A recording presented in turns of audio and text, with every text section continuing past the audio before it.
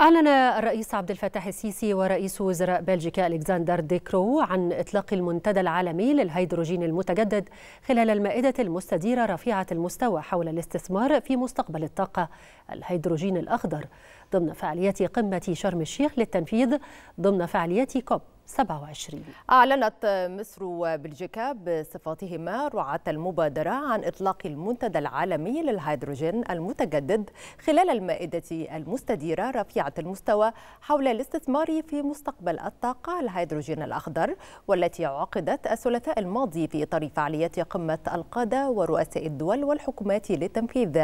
ورحب رؤساء الدول والحكومات وممثلو مختلف المؤسسات والهيئات الدولية والقطاع الخاص مشاركنا في المائدة المستديرة بإطلاق المبادرة